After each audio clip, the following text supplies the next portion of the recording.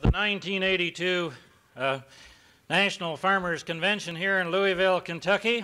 We want to thank the gracious hosts uh, here in Kentucky, and I'm sure you're going to enjoy their southern hospitality uh, while you're in Louisville. My name is Lee Elliott, and it's my job is uh, to be master of ceremonies tonight. I don't know if you know the definition of a master of ceremonies or not, but uh, uh, if just for those that don't, it's a fellow that is a master at cluttering things up. He don't have enough up here to be able to get up and give a good speech. So when he's asked to put on a meeting, he hunts up some fellows that can give a rip-roaring speech and puts one together. And we've got three of the doggone speakers here tonight that uh, that you're ever going to wish uh, that you could hear. We've got uh, uh, Jon Wefald from Minnesota, who some of you know. We got Jack Crowner, uh, who's a local radio and television personality. And Jim Harrington, who is a banker from Coldwater, Kansas. Now, we're going to set a few ground rules before we start. Uh, they're uh, uh, been instructed about how long they're to speak, and uh, then they're going to field questions from the audience for five to seven minutes uh, each one after they speak. And then, uh, since we've got a captive audience, you couldn't blame us if we work in a little commercial but once in a while between speakers. Is that okay? All right, so uh, we're going to start. I'm going to ask uh, Dave Kozachek to, to give the invocation, please. So if you would stand, please. Thank you, Lee. Our Father in heaven, we ask you to bless this group of tillers of the soil and herdsmen as we have our first public meeting of our 1982 convention. We have many hungry brethren around the world that are deprived of the precious gift of food that we in this country have been blessed with such an abundance of. Many of our producers are in dire straits and in danger of losing ownership of their farms and the ability to have this massive production that we have.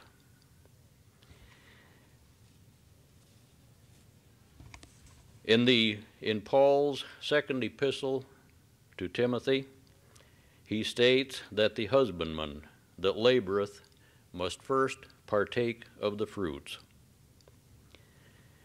We ask for your divine guidance for the for we as leaders of this organization to make the right decisions and guide us in the right direction that that may happen, that the husbandman that laboreth will partake of the first fruits of his labor.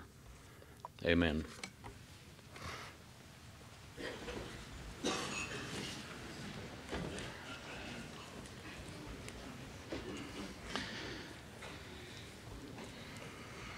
The theme for the 1982 convention is bargaining is more than marketing.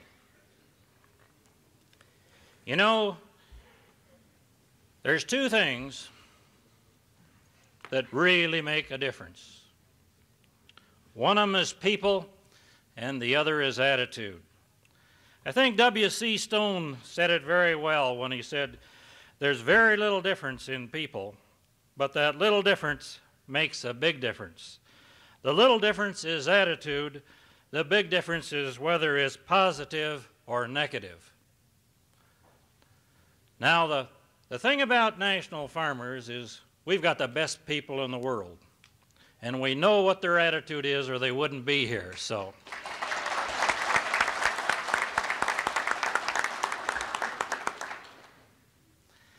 Now, for the first speaker of the evening, needs no introduction. I'll guarantee you he don't have any trouble with attitude. He's a fellow I'm glad to work with just about every day, a fellow that I'm very proud to be heading this organization. So it gives me great pleasure in introducing the president of National Farmers Organization, Devon Woodland.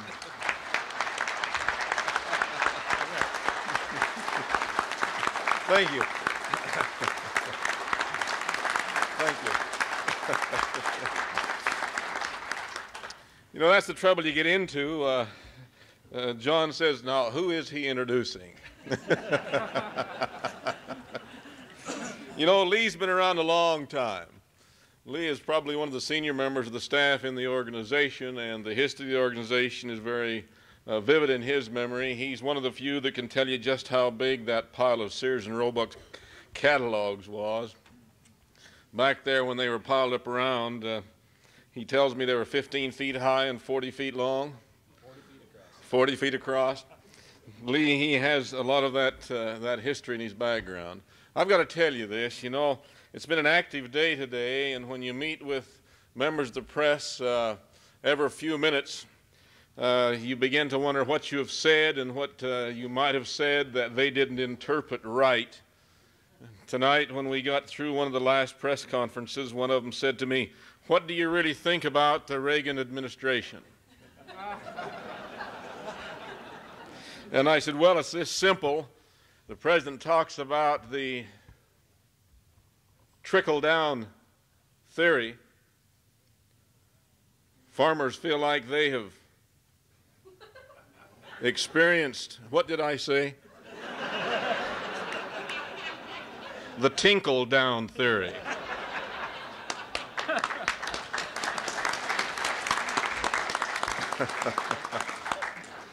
Well, what's new as far as the NFO is concerned? We've got, to my left, we've got a banker. To my right, we've got an educator. And I've always wondered which would last longer, the brains or the money. John, he's chancellor of the university system in Minnesota, and Mr. Harrington, he's affiliated with the Independent Bankers Association. Tonight, we're going to see who uh, lasts the longest, brains or money. Now, we've got both available to us. As we take and consider the NFO and where we're going, what might be new and what might have changed, there ought not to be anything happening today that is new as far as you and I are concerned. If you have followed the information, the lectures, those who preceded me by many, many years as to what was really taking place. You remember the CED report back in 1962 when they outlined exactly what they were going to do. And they have followed it nearly to the letter. The only burr under the saddle has been this organization and your determination, your commitment to a cause of people. And so these things that are happening today, we have forestalled them they have been postponed because of what you and others like you have done. But all of these things have been scheduled, they have been programmed out where they would discourage young people from entering to, into agriculture as owners and operators, that they would cause a mass migration of people. They scheduled it much quicker than it's happening, but you're seeing today a migration and it probably has not bottomed out, in my opinion. The Farm Credit people have been lenient with borrowers. They have been willing to renew, to carry over, to roll over unpaid capital loans. How long can they do it? I don't know. But at some point, there must be some corrective action taken in the marketplace because there is a limit. And when that point will be reached, yet remains to be known. So we're here tonight to listen to people whom we have invited in to give us a perspective from a little broader point of view than we see within our own spectrum. And it's a thrill to be here tonight in the first public session of our convention and have this information as a background, as a basis to build the theme, the attitude of this convention. Welcome, and we'll be seeing more of each other in the next few days as time goes on. Thank you.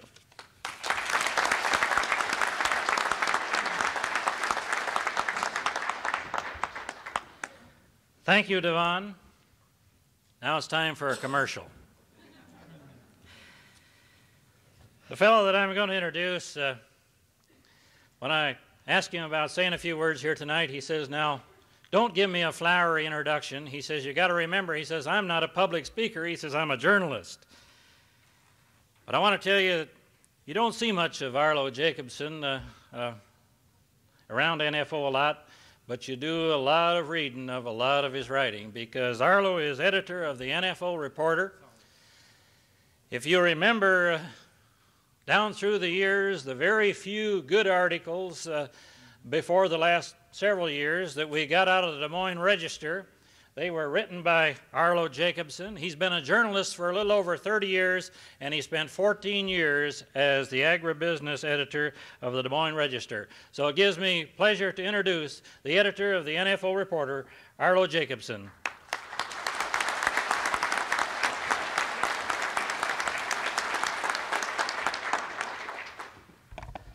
Thank you, Lee.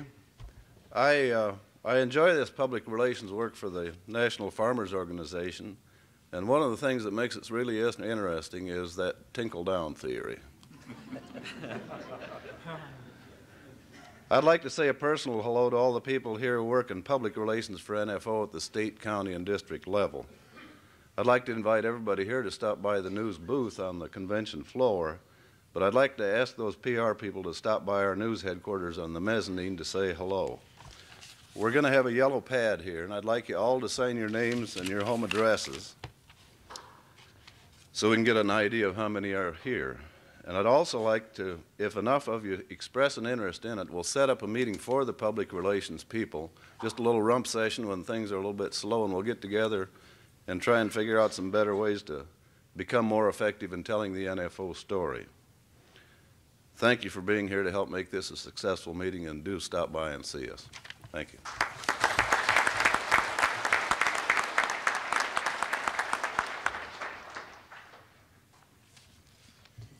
Thank you, Arlo.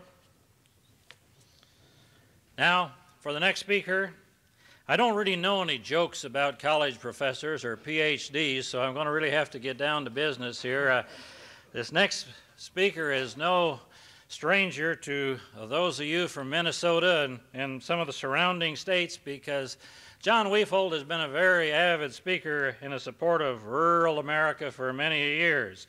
And he's got a pedigree that is so long I couldn't remember it, so I'm going to read it to you if you'll forgive me. Uh, uh, Dr. Wefald was appointed Chancellor of the Minnesota State University System in August the 30th, 1982, and assumed the position on October the 18th, 1982.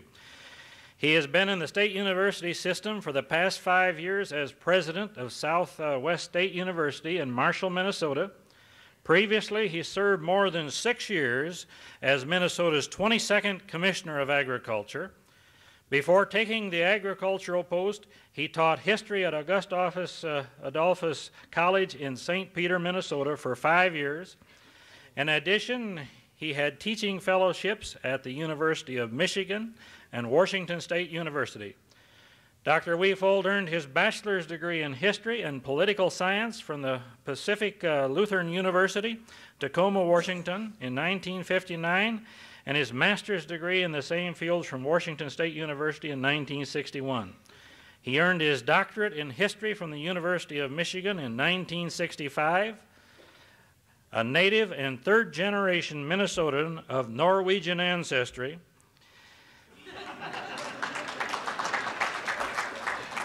Dr. Wefald has deep roots in the land and in public service. He is a dedicated spokesman for rural America, and under his direction, Southwestern State University developed an innovative rural studies program which offers students the opportunity to study, understand, and appreciate their rural heritage and contemporary life. Gives me great pleasure to once again introduce Jon Wefald.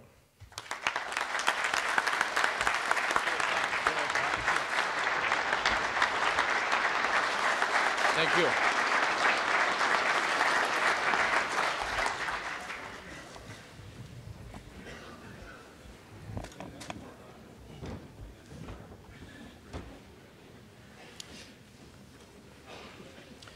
Lee, thank you very much. It is a real honor and privilege to be here in Louisville, Kentucky, to speak to so many strong supporters of the National Farmers Organization. You might be wondering why an educator like myself, the chancellor of the Minnesota State University system, the representative of seven different and important state universities in an important state like Minnesota, would be here in Louisville tonight to talk to the National Farmers Organization. Well, the truth is, I love the National Farmers Organization.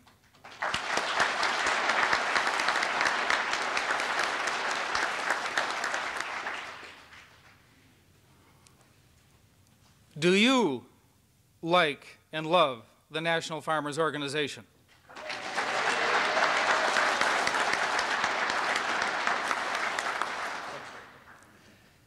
When I stop to think of my feelings here tonight, in terms of what the National Farmers Organization has done for me, and many of the individuals that I've met over the years, I have to kind of think for a moment of a little history. I have to think of those years, 1954 and 1955, when this organization was born.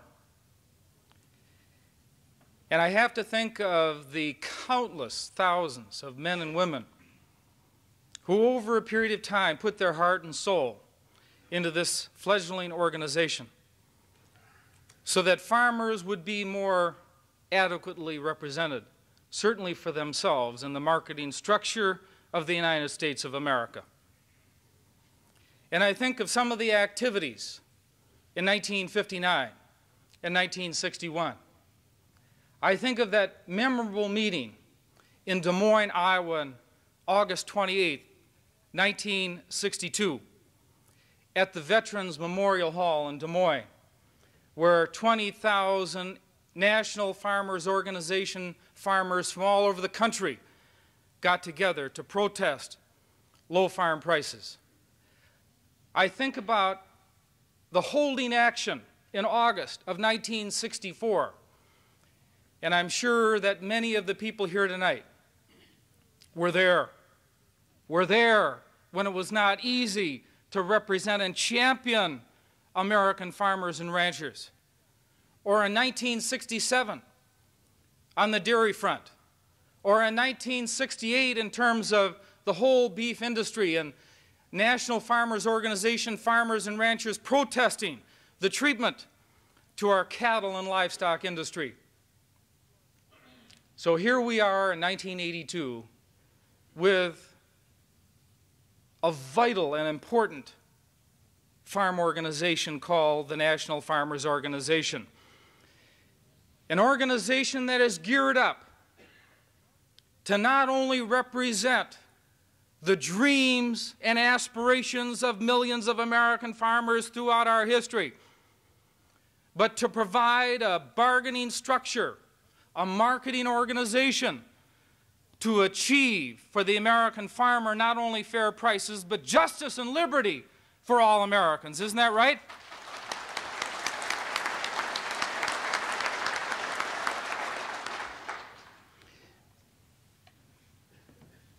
I have a number of degrees, you know, the BA, the MA, and the PhD. But I must say, it wasn't until I met some National Farmers Organization farmers in Minnesota that I started to get really smart.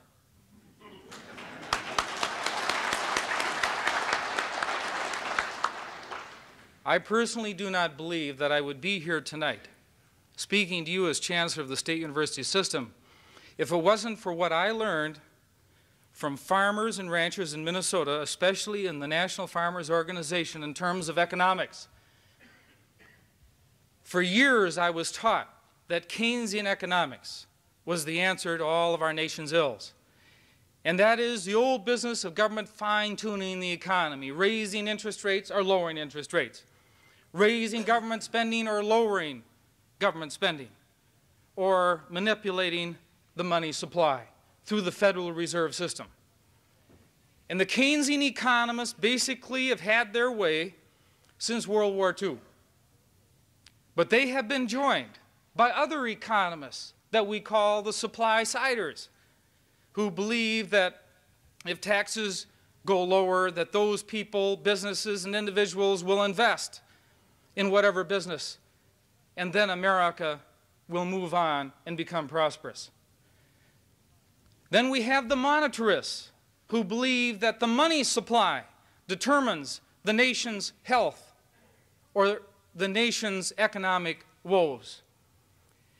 Well, it wasn't until I ran across some National Farmers Organization farmers who said, you know, these economists out there, Keynesians, monetarists, supply siders, they've all forgotten about George Washington. They've all forgotten about Thomas Jefferson. That all of these economists in the post World War II period have forgotten about agriculture, our most important industry.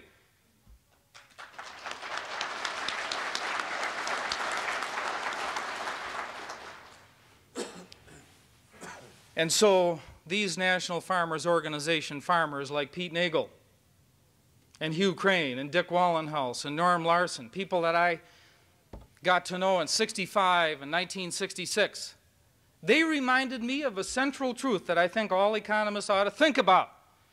And that is if you take all of these economists, Republican and Democratic economists alike, in the political arena, and then just put them in a line end to end, guess what? They reach no conclusion.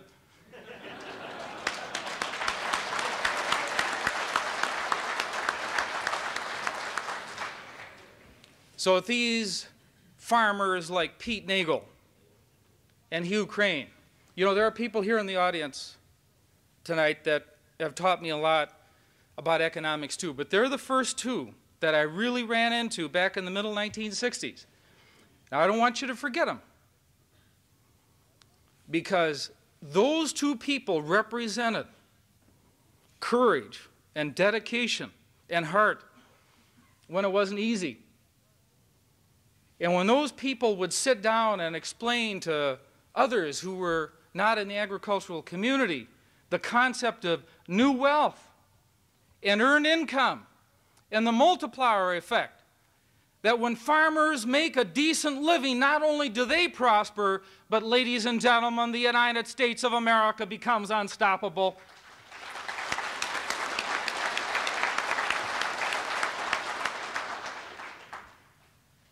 So here we are, 1982, and this organization is geared up and has the structure and the capacity and the people and the ideas and the integrity and the professionalism and the ability to put together blocks of commodities to establish a fair price for America's farmers. But how did this organization get to this point? Well, on the backs of some giants, some people that will be remembered when we think about Williams Jennings Bryan and Robert La Follette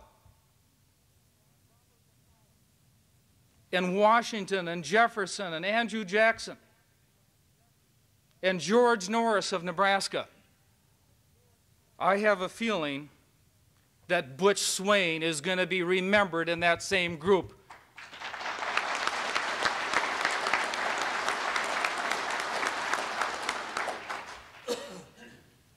Butch Swain, who put in countless years of his life for the National Farmers Organization.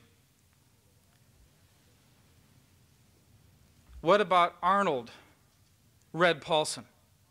Hey, Arnold, wherever you are, God bless you. Let's give him a big hand.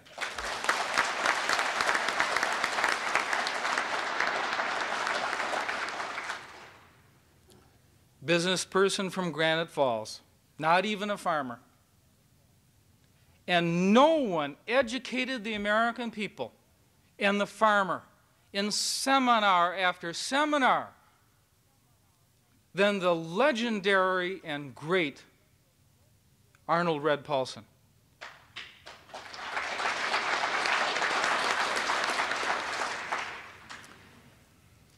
You know, it isn't often that you can talk about a giant. You know, who's still around. But there's another person who hasn't missed many National Farmers Organization meetings on the county level, on the state level, on the national level, who, whenever a county chairperson wanted him, he was there. He was there with heart and vision and compassion. And somebody that we will forever owe a debt of gratitude. The one and only Erhard Pfingsten. Erhard. Erhard.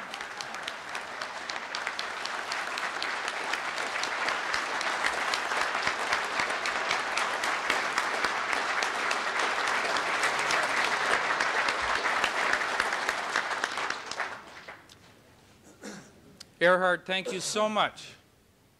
We will never forget the many, many contributions for your people and this great farm organization. And you know, we can't fail to mention the other one. I mean, the one who I'm sure a hundred years from now will have to be rated in the same breadth as George Norris and Williams Jennings Bryan and that's really the person more than any other single individual who had the dream in 53, 54, and 55, and where we are here tonight. Let's give a big hand to Oren Lee Staley.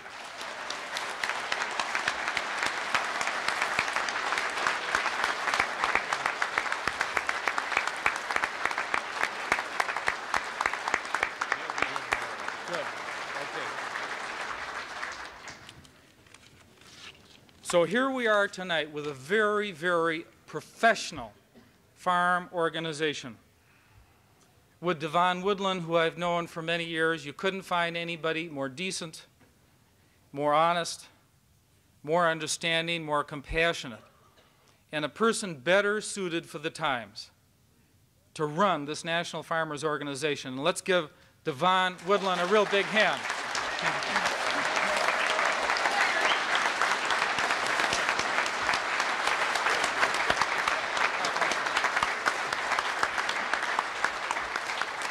You'd think that John was a politician. Who's next? Myself.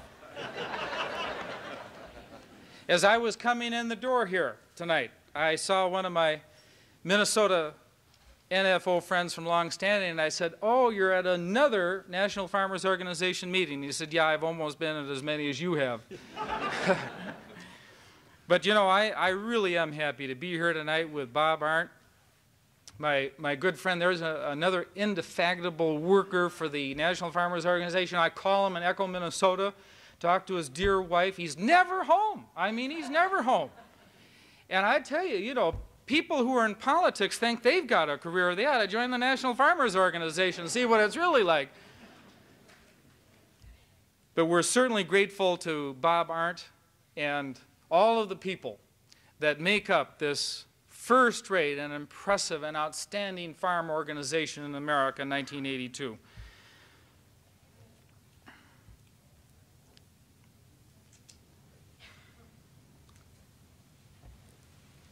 Well, let me just spend a, a, minute talking about the importance of agriculture today.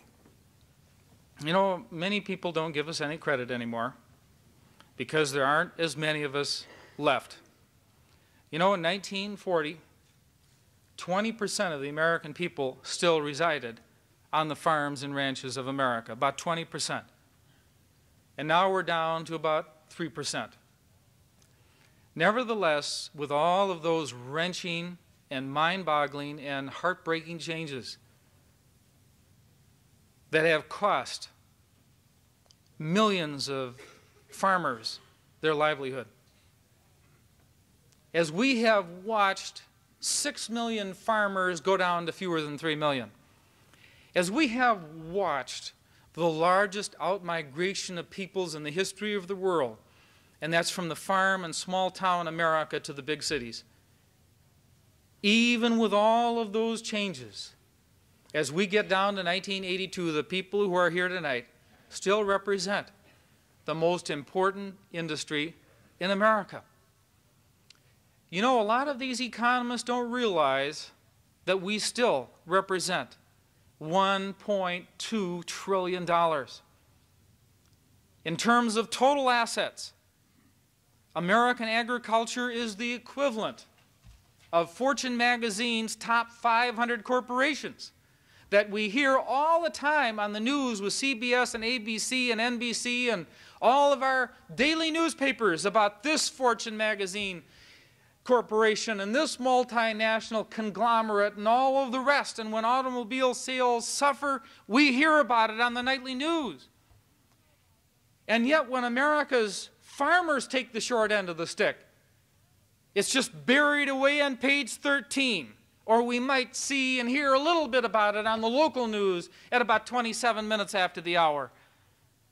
And that's really unfortunate because America's farmers represent an industry that's greater than that of all of the automobile, the steel, and the transportation companies put together.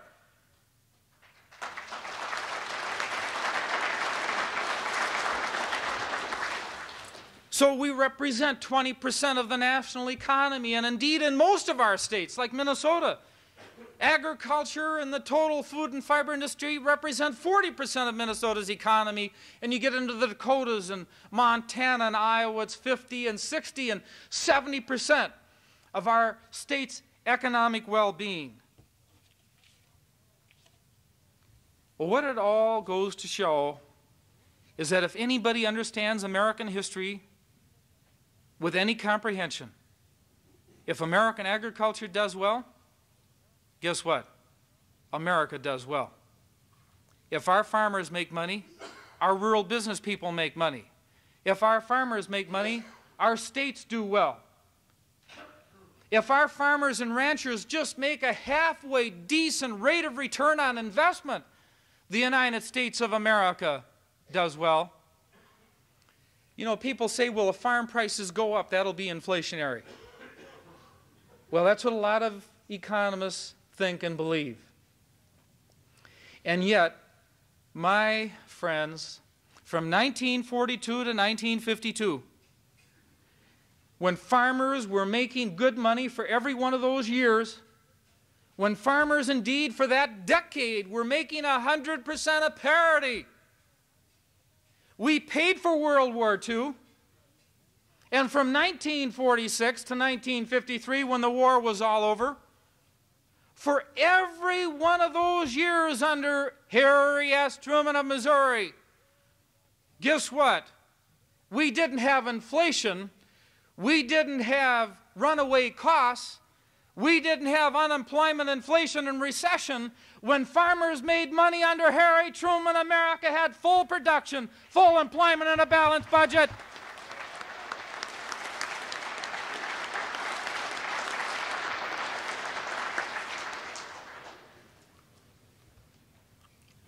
Whether it was Butch Swain or Erhard Pfingsten or Red Paulson or Vince Rossiter of Nebraska or Oren Lee Staley, we've been saying now for 20 years, you can't keep treating American agriculture like this. You can't keep slapping the American farmer in the face. You can't keep driving American agriculture into more and more debt and less and less income. Oh, you can do it but eventually it's going to catch up with you. Eventually, that three legged stool of which capital and labor and raw materials make for that firm foundation of one of those legs on that stool becomes weakened and unstable. The economy is going to crash. Yeah, we said that in 1960, we said it in 1970, we said it in 1980, we said it every year in between. And so we had 100% of parity from 42 to 52, and America was unstoppable. And then with Ezra Taft Benson and the whole sliding scale, we went into the cheap food philosophy of the 1950s. And we went into a cheap food philosophy that was adopted by both political parties. And increasingly, they've been putting that cheap food philosophy into place thinking that this would benefit America and the consumers and the politicians. And so parity from 52 to 1960 falls down to 84%. And then from 61 to 68, it goes down to 77%. Then from 69 to 76, when we had three great years 72, 73, and 74 it's now down to 75%. And then from 1976 to 1980, showing that it's a nonpartisan situation. As the President of the United States leaves in January of 1981, parity is now down to about 66%. And that wasn't good enough. So today, I'm sorry to say, parity is now down to an historic low, about 55%. How low is that? In 1932, the lowest year for parity between 1914 and 1982. I'm talking about the Depression. I'm talking about the Depression. Under Hoover, parity was 58%, the lowest ever until this past year when it went down to 55%. And then the politicians and the economists cannot figure out why we have inflation and recession and unemployment and underemployment. They can't treat the American farmer like that for too much longer and get by with it, period.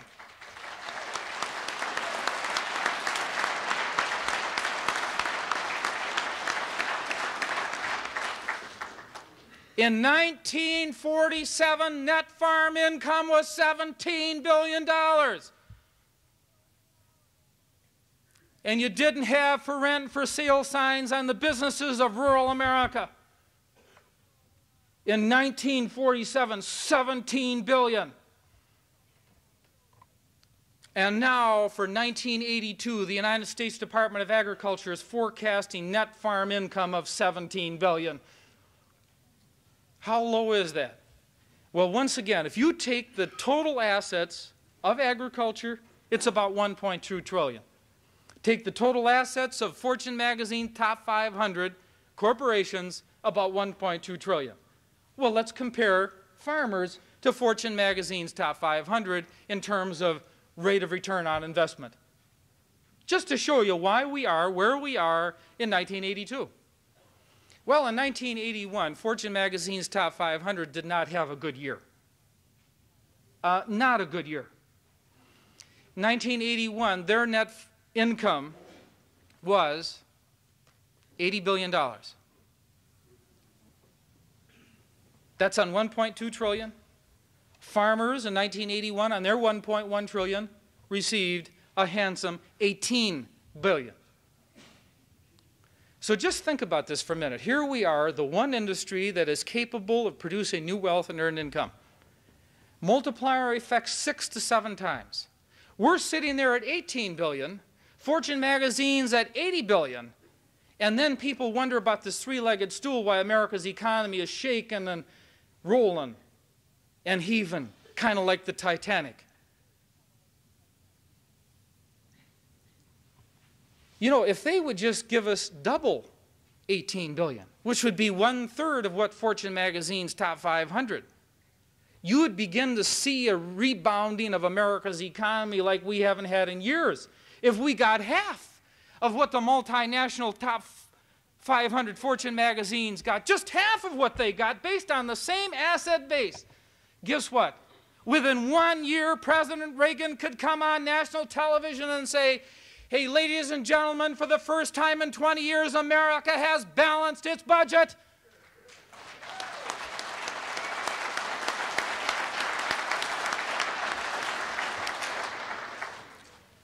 Well, we have people who've got the answers, though. They say we need to export more, huh? Devon, you just had an article in the NFO Reporter this last issue.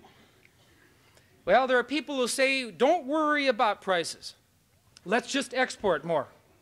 Okay, we've done that. Back in 1972, we exported about $7 billion worth. As of 1982, it's right around 44 billion. So, Devon, as you point out, a 600%, not six, or 60, 600% increase in exports from 72 to 82. And guess what? we're holding the bag. Guess what? Farm debt has increased from 15 to 16 billion in 72 to 190 billion in 1982.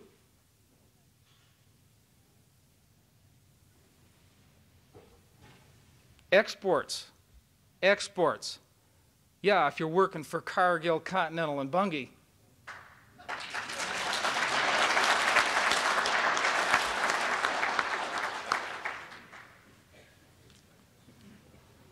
Oh, there are other people who say free trade. Free trade is the answer. We have to unshackle American agriculture. What do you think we've been doing since 1972? Free trade. Now, how do you have free trade with Japan? How do you have free trade with a, a country that has its own national corporation that buys your corn and your soybeans? Let's say they buy our corn for two and a half. I wish we could get two and a half. But let's say the Japanese national government, their buying company buys it for $3. You know what they do? They turn around and sell it to their processors and their buyers for about $9. All those Japanese. I just wonder who won World War II.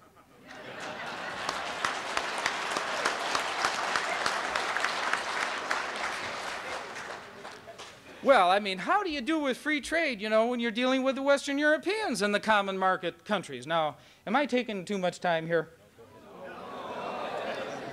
This is going to be one of the shortest speeches I've ever given to a National Farmers Organization meeting, I'll tell you that.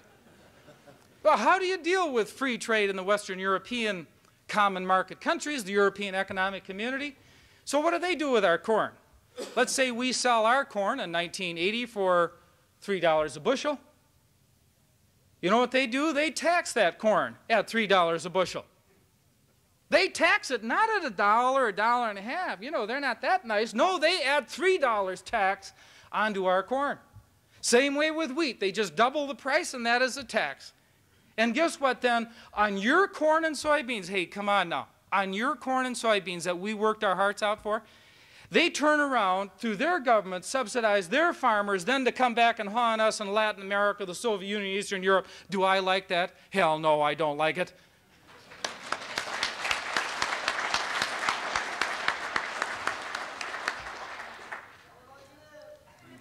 Well, I'm trying.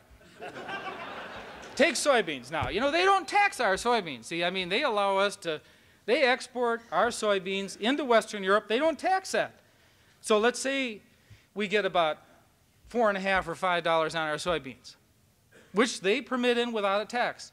Like France, for example, turns around and gives a subsidy to that soybean grower in France of six or seven dollars so that their total income is like 12 or 13 dollars. You know Block? I don't know. Does that name ring a bell with you? you know, this administration, and you know, I, I, think I've been telling you it hasn't really made much difference over the past 25 years whether the Republicans or Democrats have been in power in terms of how they've treated the American farmer. But you know, the thing I can't understand is this administration and Block and all the rest, what they want to do is bring that European economic community to its knees. They want to take those farmers in France and Germany and bring them down to your level. Now, isn't that ridiculous? Let's get up to their level.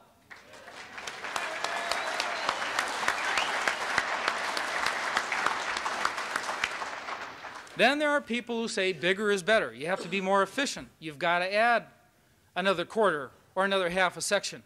Then when you get real big, then you're going to be happy ever after. Well, we've been doing that since 1801. I didn't say 1901, since 1801 and that hasn't worked either. Well, what are we going to do?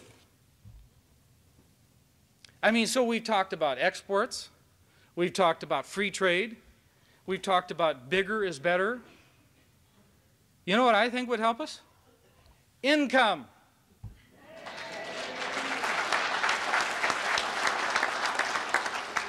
Just a little old fair price. You know, like we had from 42 to 52. A fair price. just a halfway decent fair price that reflects, let's say, some element of purchasing power on your behalf. And for an industry that is capable of literally turning this country around, how can we do less? You know, if you people weren't important, I wouldn't even be up here tonight. I mean, if agriculture was just something that was irrelevant and just a footnote to our economy, then I would say, why come all the way to Louisville, Kentucky? But my friends, what you are doing here tonight and throughout this week, through the National Farmers Organization, yeah, you're helping yourselves. I appreciate that. You're helping your family. You're trying to help your community and county to make this farm organization the best ever and to put this farm organization in a position where finally, after all of these years,